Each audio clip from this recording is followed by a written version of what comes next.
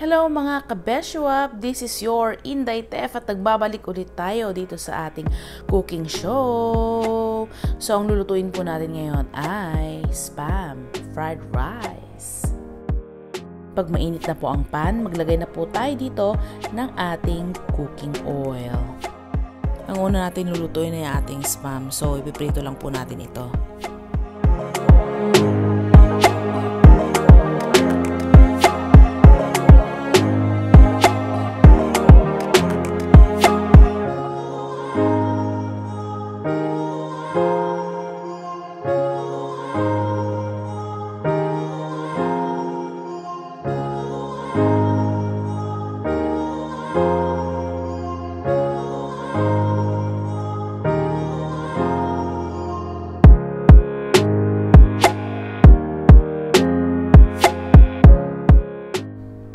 Guys, brown na ang ating spam at para sa akin okay na ito. So, i-set aside na lang muna natin at isusunod na natin ang ating vegetables.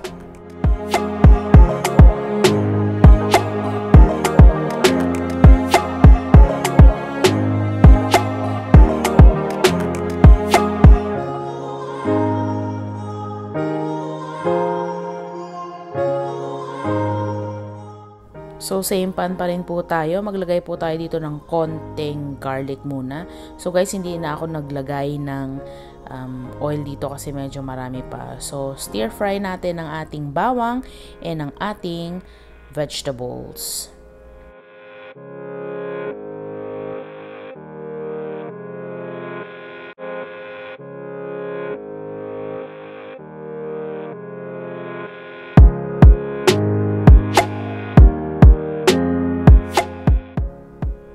Ito nga pala guys yung ating vegetables. May carrots, peas, green peas, and lima beans.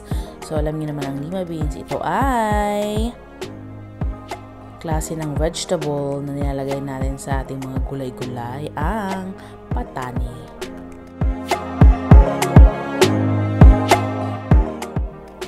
Ilagay na natin ating mga vegetables dahil mas maraming vegetables, mas masarap at mas masustansya. Ganarn!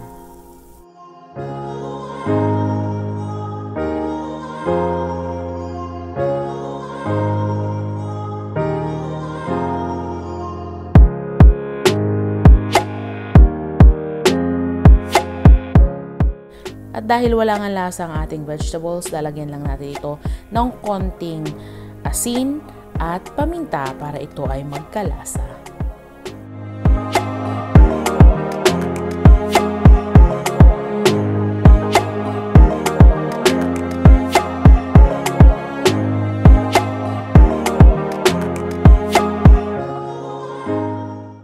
Pag ikaw naman yung tao na hindi mabubuhay na walang magic sarap or any uh, chicken powder ay maglagay lang po tayo ng konti-konti lang.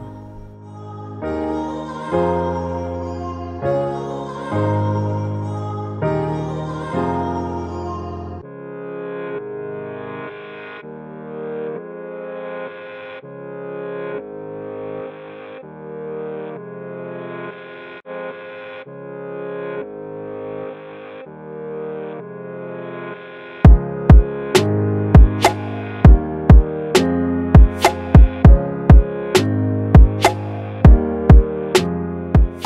okay na po ito. Ang gagawin ulit natin ay set aside natin itong ating vegetables.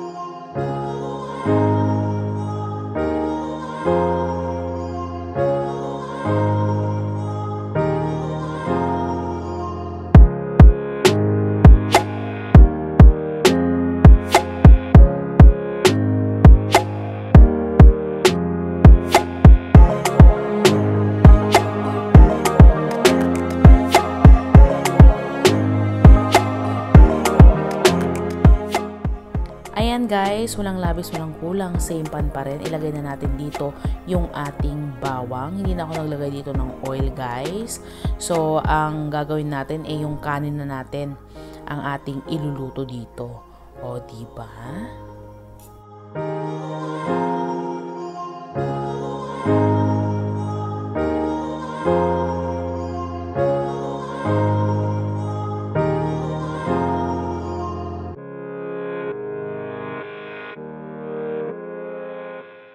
Hindi nga ako nagdagdag ng oil pero magdadagdag tayo dito ng butter. Okay, yan po ay tira-tira lamang. So, sayang naman pag hindi natin ilagay. So, ilagay na natin. Tunawin lang natin ito ng bonggang-bongga.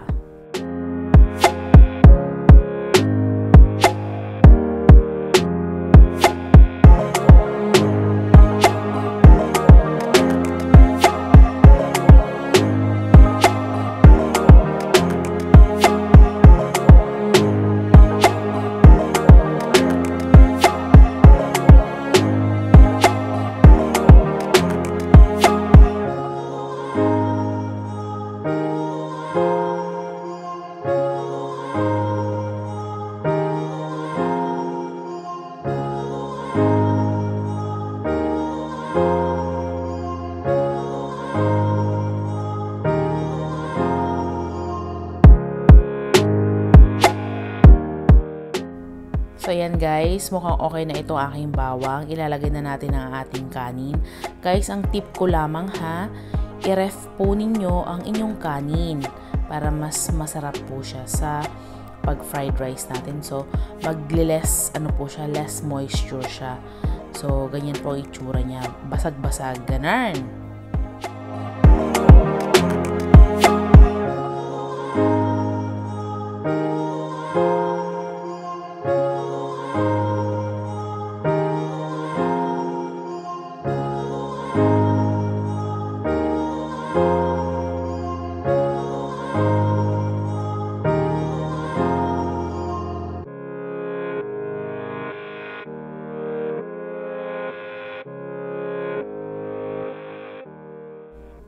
Guys, pagkalagay nyo po ng kanin sa lutuan nyo po ay wag nyo munang imimix para hindi po lumabas yung kanyang pagka-starchy. Starchy? Ganon, may pagkaganon. Hayaan nyo lang muna siyang ganyan dyan at uminit siya ng bonggang-bongga. So mamaya hahaluin po natin, no?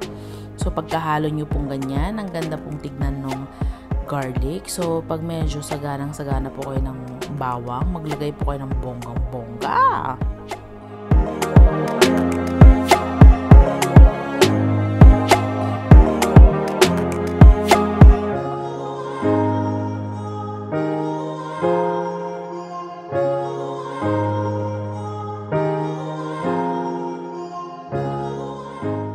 So, hindi na po ako naglagay dito ng asin dahil maalat na po yung spam. Ang ilalagay po natin ngayon ay ang paborito ni Jowa na soy sauce. So, maglagay daw tayo ng soy sauce sa kanyang fried rice.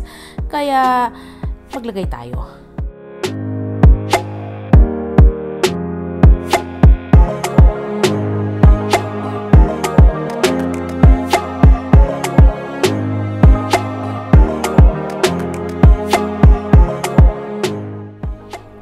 Guys dahil gusto ko maglagay ng chicken powder at maglalagay ako guys. Walang makakapigil sa akin. Gusto ko maglagay para mas masarap yung ating fried rice.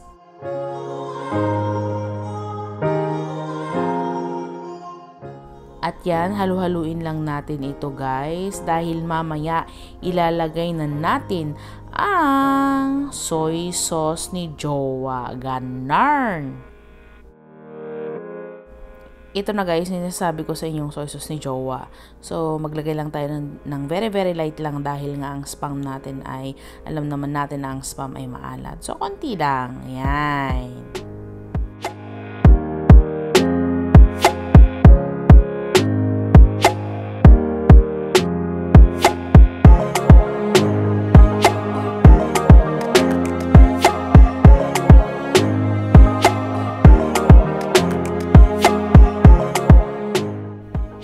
Katulad nga ng sinabi ko guys, pag hahaluin nyo, huwag nyo po siya masyadong overmix para hindi po lumabas yung kanyang starch.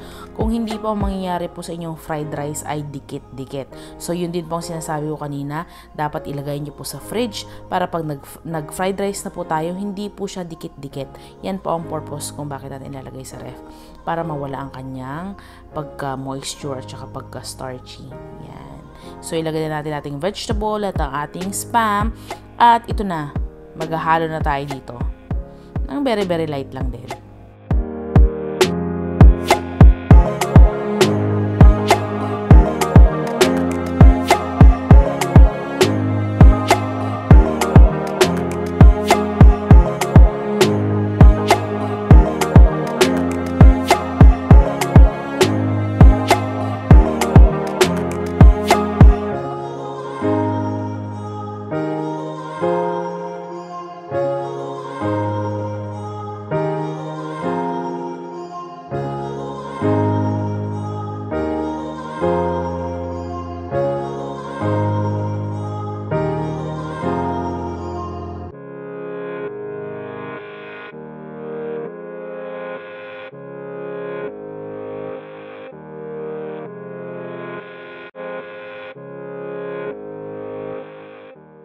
Bago ko pala makalimutan guys, ito pala yung spam na ginamit ko, spam bacon.